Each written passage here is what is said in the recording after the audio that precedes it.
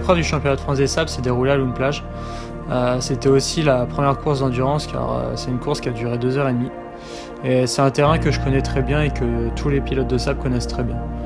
Euh, c'est vraiment le spot pour s'entraîner pour les courses de sable.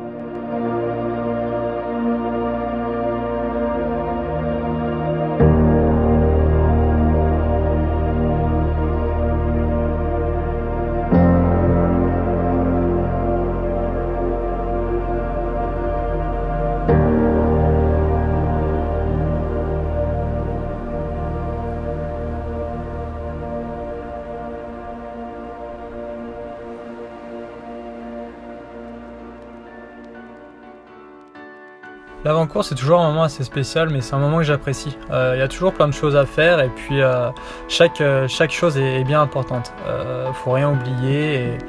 Et, moi j'aime bien aller, aller checker la piste avant, avant le, début de la course. J'aime bien aller voir les premières courses, voir comment ça se déroule. Et puis le briefing avec mon entraîneur c'est toujours important, l'échauffement aussi. Donc voilà, c'est plein de petites choses que, que j'aime et que j'ai besoin de faire avant que la, la, grille tombe. Et puis arrive, arrive l'entrée en grille là, euh, la, pression est à, son maximum et, euh, c'est toujours une, pression qui, est très stimulante et, et j'apprécie ce moment-là.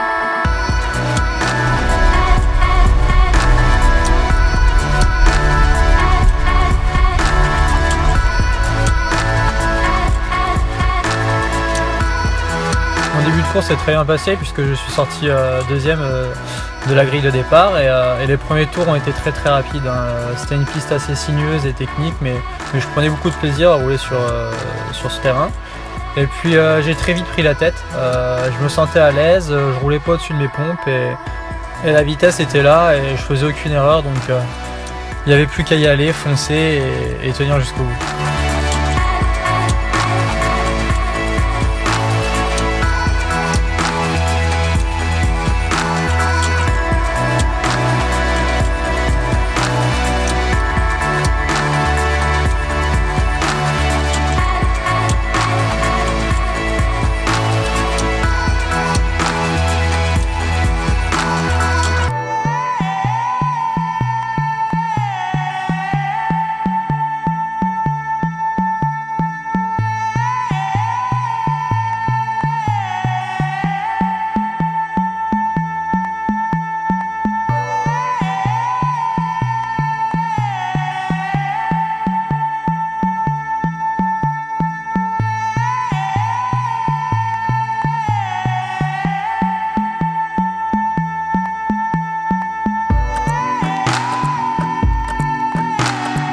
À une heure de course arrive le premier ravitaillement. Euh, j'avais fait le travail, je suis arrivé euh, au premier ravito avec euh, plus d'une minute d'avance sur, le second et, grâce à mon équipe, le, ravitaillement s'est passé à la perfection.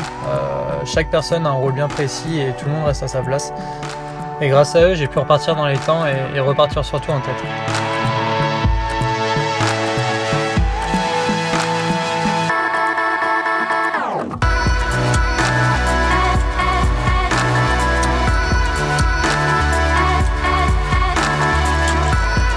1h45 de course, tout le monde se demandait ce qui se passait. Euh, plus personne ne voyait en tête et en fait, euh, tout simplement, je suis passé par-dessus la moto sur un saut.